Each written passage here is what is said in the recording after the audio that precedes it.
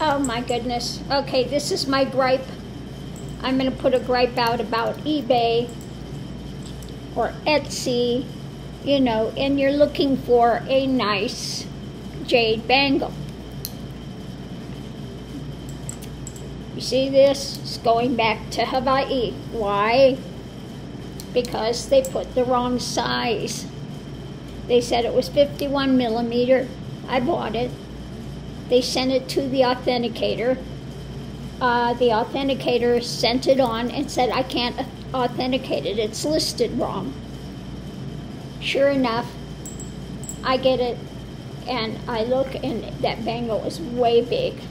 So I did the millimeter gauge. I sent the picture to the person that listed it. He's apologizing profusely, but it's taken three, four days now and when I bought it, you know, by the time they send it to the authenticator and then they send it to you, you know, it's been a week. So my money's tied up in a bangle that I can't wear. Now it's a perfectly lovely bangle. And I would have been really happy to have it. But uh, it, it's, uh, you know, it, of course, it doesn't fit. Now I run across this again with Etsy. Same thing. I bought a bangle. They sent it here. They said it'll fit a six inch wrist, six and a half inch. Goes down to here on me. It's a seven inch bangle. Then they go, well, we don't accept returns. We, uh, you can exchange it for something. And I said, this is not my problem uh, when you listed it, you listed the wrong size. Here it is, and I take a picture and show them. This is what you listed it, 51 millimeter. It's a 55 millimeter. That's a huge difference. No, I cannot wear it. And so they refunded my money. So this has happened twice. I get another one. Uh, there's one I would love to buy. It's what I've been looking for. The white, the the snow in moss, what they call it. The white with the green, okay? Now, the person that listed it hasn't sold anything there before. It's a jewelry store. And I have texted them through eBay three times. They will not answer. They want to charge $52 for shipping. Even from Hawaii, it was $15 for the shipping to send it to the authenticator. This person wants to sell wants to charge you fifty-two dollars for shipping, and and they say uh, no returns. Uh, so I've asked numerous times. You say it fits a six and a half inch wrist. What the heck does that mean? Can you give me the millimeter size across so I know what size if it will fit me or not? They don't. They don't answer. Okay. And uh, you get so many to say if it's a small wrist. Yeah, no, it's a seven seven inch, eight inch. That's huge. so this is my gripe. You can't list a bangle and say, oh, if it's a six and a half inch, well, what what does that mean? A six and a half inch wrist, what down to here? Tight, loose, what? Okay. Um, what does that mean? Okay, now on my wrist, this is the biggest one. Uh, and if they measure it, it's like six and three quarters. If it was a quarter bigger, it, it, it goes down here. A seven inch bangle goes on me down here. You can't wear it. You can't. Can you imagine wearing a bangle that goes down on your hand like that? So when they say it fits a six and a half inch wrist, what does that mean? It, does that mean it's a seven inch bangle and it's going to fit, you know, down to here? Like I said, this is way bigger than what I usually wear because I have a soft hand. It collapses in and I can wear much smaller bangles, which I like to wear, the tighter ones. Um, so when they're saying it fits a seven inch wrist, it fits a six and a half inch wrist, what the heck does that mean? fits it how loose? Is it hanging down like this on that size? What, what? I'm like, you know what makes you crazy? Because every time they've said it fits a six and a half inch wrist, if I've taken the chance to buy, it comes and sure enough, no, it's a seven inch bracelet. And it doesn't fit. And then they get upset because, you know, it, it doesn't fit. It's not that I just changed my mind and bought it and just decided, oh, I don't want it. No, it just doesn't fit. Like I said, this one, now this is my good Ming bangle. You can see how loose it is compared to my other ones. Now, a lot of people wear their bangles like this. Most people wear their bangles down like this. You know, that's their normal thing. And for a Ming's, this is a small, small size. Okay? Now, again, if it were any larger, it would go down to here and I couldn't wear it. That's what happened with the one I have from my daughter. If I remember right, it's Ming's as well. And it's a nice translucent, it's like this. You can't see really how translucent this is, but this is very, very translucent. And, um, but the one I had was, you know, um, the type with the gold that opens it would come down here on my wrists. I couldn't wear it. I gave it to my daughter for her wedding. Um, very, very nice bangle. But um, again, you know, I'm sitting here trying, and, and you get a hold of them and say, well, what is the millimeter? Well, it's it's six and three quarters inches across, or don't give me inches, because you cannot really measure it with a ruler. you need can you just buy can you buy, just buy one of these little gauges that's like $11, okay? You can buy a gauge and you can measure it exactly, okay? For the millimeter. This has got millimeters or it's got inches, okay?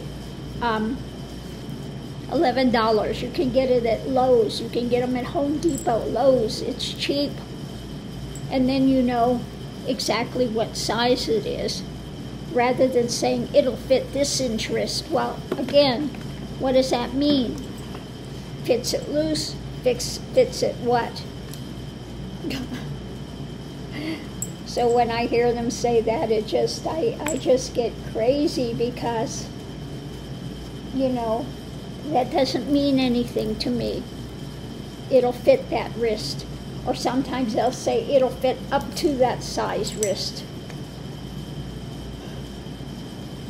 How difficult is it to, to actually measure it? Or they'll say it's two and a half inches wide. Again, you can't measure it correctly with a ruler. Or they lay a ruler, you know, by it, and you're supposed to be able to tell the size you can't tell when you lay a ruler next to a bangle what the size is. like, for God's sakes, please buy buy a millimeter gauge. Then I have another one I've looked at numerous times. It's in Hawaii. Now they say it's 50 millimeter, and then they say it's seven inch inside. Well, if it's 50 millimeter, then it's not seven inch. Which is it? If it's seven inch, then it's 55 millimeter. That's a big difference from what you're saying is 50 millimeter across. Which is it? Is it 50 millimeter or is it seven inches? Again, another huge difference. And, you know, there are some that I've always looked for a really nice, nice, nice bangle. Um, but you get that, and, and the same one that's in Hawaii, they say this will fit a small wrist, and then it says it's 46 millimeter. Well, 46 millimeter is, is like a baby's, a baby's thing So I don't know if they can't. No, they don't know the difference between the millimeter and the other. I don't know how they're trying to figure it out.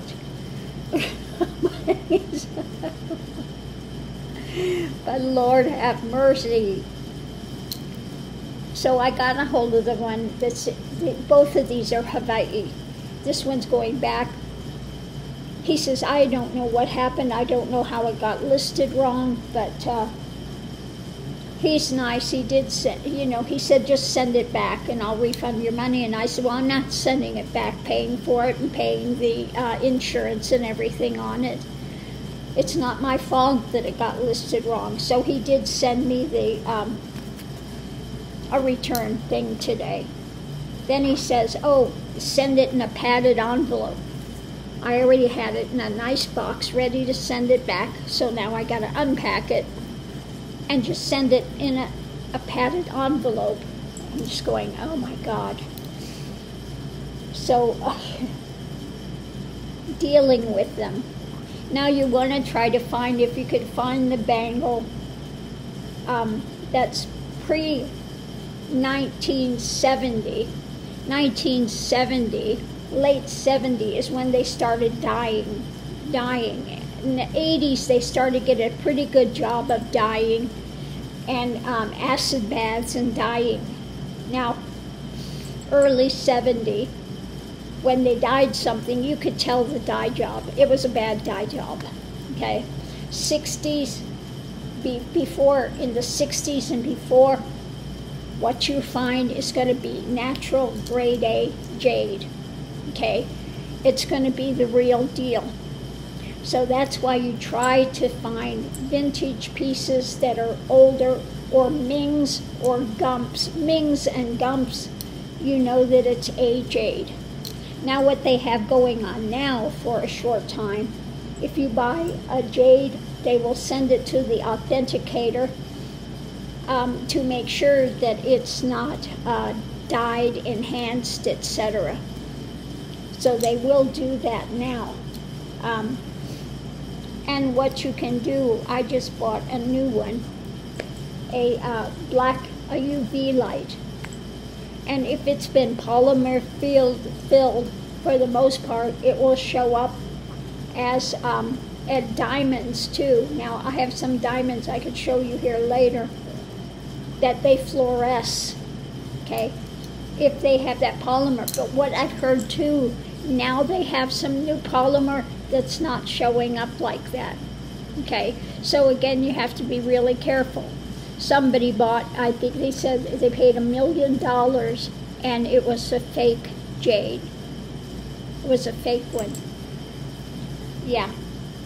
So they have some new things out that make it more difficult um, to tell um, what it is.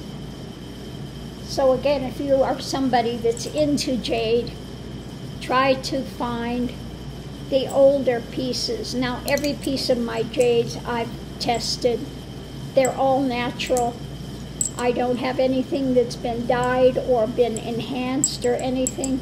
Like I said, this one, if I went to buy this piece now with that translucency, it would cost a lot of money. Okay, I got this in 1970. I was looking for water jade and stuff like that. It was not popular back then, but it's what I want. And when I saw this bangle in there, I grabbed it quick. And now, you know, I've tested this and it is natural jade. It is that translucent. It does have, um, now I did drop it, I cracked it here. I dropped it on a hard floor, concrete. yeah. So I do have to get a little, I wrapped the, the leather, which I kind of like, but I might get it with the um, wrapping of a gold around it. But in this piece, if I took it off, you could see it's got little things of green inside. It does have a little bit of green inside. So this is a natural uh, water jade. I do have a few pieces of water jade, like I said, that I have bought along the way. Now I do have this other one that's a baby bangle and I want to take and get it tested. But here it is. Now I want to I want to make sure that it's jade. It, it is heavy like jade, okay? Um, but I want to have it authenticated that it is water jade and not a um, moss agate. But moss agate, it, it's lighter than this. You cannot find these translucent ones like this very often. Now this one I got from an old Chinese person. He had a set of these, and I talked him out of buying one of them. And this was again many years ago. Um, but um, I thought about making it into a um, into a necklace. I could do it into a necklace and hang a, another piece of jade into here. Oh, I wish to God it was a little bigger and it was a bangle that would fit me. those are those things that, oh, if only, if only, if only, you know. But yeah. Again, you know, water jade before was not so popular. But now it's, you know, it's hard to find. I saw some that are listed and I don't trust them. But it's like one that's like the water jade, $30,000. Now you look at them and they haven't really sold the jade on there They've sold other items, so it looks like they've got good ratings, but you look and see what they sold. They were cheap items. And now they've got listed jade bangles from Taiwan. They're located in Taiwan. $30,000, $28,000, $40,000. But you look to see, and none of them have been sold before. So if, again, you're buying on eBay, and they got something very expensive listed and you see they've got a lot of good ratings. Look and see what those ratings are for. This looks to me like a possible con being set up. All they need to do is sell one of them and close that account and be gone. And that money is gone and you got a piece of worthless jade for $30,000 something that's been bleached and it's brittle. It looks good on the surface, but it's not worth anything. It's going to break. You know, and you see people and they say, well, your bangles, you need to have something between them. Jade is, if it's a good jade, no, you don't have to have something between them because jade is very, very hard. Very, very hard stone. Now this one, again, I dropped it on the concrete. So I've got a crack in it. Um, I got a crack in a few of them that I dropped on concrete. Okay. Uh, not that they broke because I'm wearing them with others. They, I wear and I bang them. I, you know, there's nothing going to happen to them. Jade is very, very strong. Now, if it cracks because you're wearing it with another jade, then guess what? You got a piece of crap. It's not real jade. Okay? I could tell you, it's not real jade. Okay? Now these I just got. Now I got these off of um, Amazon. Now this part up here, jade, is quite fine. This fluoresces like crazy. The bottom pieces fluoresce. So the bottom pieces on this uh, have some sort of a um, that what do they call it? Not silicone, but something that they do to them. Okay. Uh, but the top part is fine, but the bottom of all of these fluoresce. Um, so again, that's another way that you can tell um, the jade if it's been enhanced or anything like that. So anyway, on that note, I'm going to leave this here, but this is mainly for my people that are buying jade and, and just some of the stuff you have to deal with. Now I've seen on the market lately quite a few old, old bangles because a lot of the more modern kids and stuff coming up don't want them. And they don't understand uh, just how lovely these pieces are and how rare they are. And so, um, like I said, I have been scouring the net, and because I wear such a small size, it's almost impossible to find ones that fit me. I was over the moon to find this one, a Ming's that I can actually wear. Now it goes down further than what I would ever wear my other jades, but you know, it's quite fine. I can wear it. But um, I keep looking and looking and looking. and there is there are a few that I would have bought ten times over if they would have fit me. My best deal ever I got eBay this piece. This piece when it arrived I couldn't believe it. It's 24 karat gold and that's the real deal. That's the real deal jade. Um, when I bought this, I bought it from somebody that had no idea what they had. Because I paid, um, was it something like two, three hundred dollars for that? And uh, I can tell you that that piece there is worth thousands. Thousands, yeah, thousands. you can't find, you cannot find like this, this old style in the 24 karat with that color of an apple green jade. That's a lovely apple green jade. Now, so once in a while, you can find a killer, killer deal.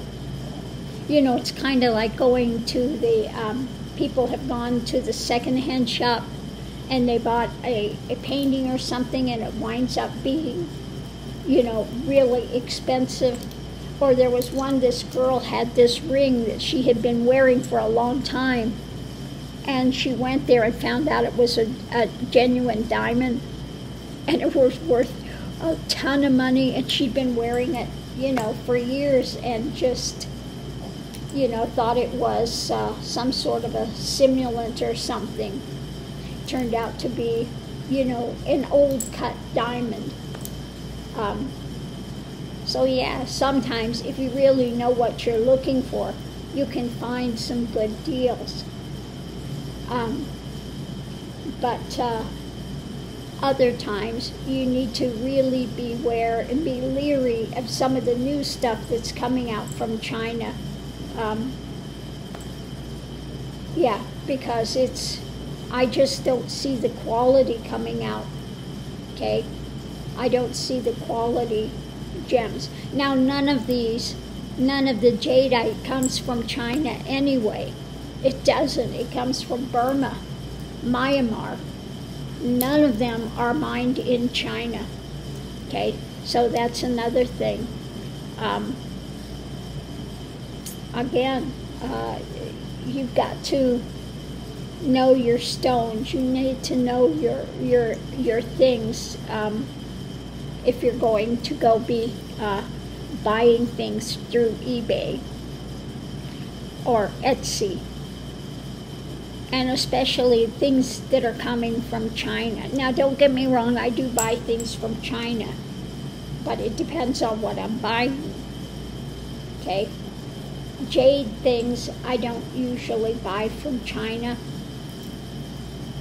because, again, the jade is not mined in China. Jadeite is mined in Myanmar. Now, maybe some of the nephrite, I'm not sure exactly where all the nephrite comes from. Maybe they have some in China, some nephrite. But they have also the old style, like the mutton fat, and I think some of that comes from, was it Turkey? I have to check on that.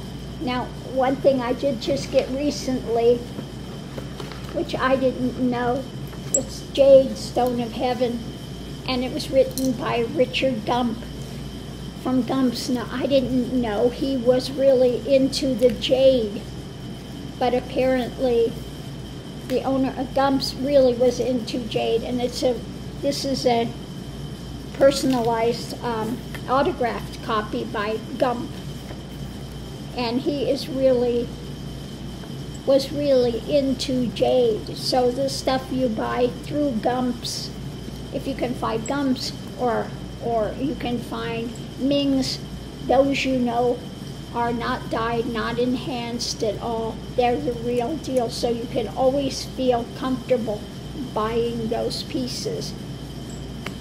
So, anyway, on that note, I'm still trying to find out if anybody knows this watching this. There was Ming's in Honolulu that I used to go to. They had a Ming's up in Ala Moana Shopping Center, the second floor. you go up there and was right was right there. The big. when I lived in Hawaii, I would go there and drool over the jade all the time. And back when I lived there, I was so poor. I couldn't afford anything ever. Uh, but I would go in there all the time and just look at the beautiful jade. Now, I heard they had a Ming's also in San Francisco. And I'm wondering, I can't remember the name, there was a big jade store that had the best stuff up on Stockton Street. And I'm wondering if that was the Ming's also Ming's Jade um, store. Now, I remember going in there and seeing some imperial jade, but some of that really dark, but when you shine the light, it would shine through it, this, you know, real imperial jade. And that's the other store. It was either the one in Hawaii, Ming's, or the jade store that was, there were a couple a couple in San Francisco that were really good. There was one on Stockton and then one about halfway down. It was kind of a small, was it by Waverly? Was the little side area there? But anyway, there were two stores, they're jade stores, which I just would go in and just stare at the stuff. And again, during that time, I really didn't have money to be buying too much. Um, but I did finally buy, like I said, this piece, this piece, this nice dark, the red, and these two, these two bangles, which were a matched set, okay, that I had gotten. These I had gotten from a, um, a kind of an antique store one that carried a lot of antique jade and stuff. So those I had bought um, while well I lived there in the early in the 70s. Okay.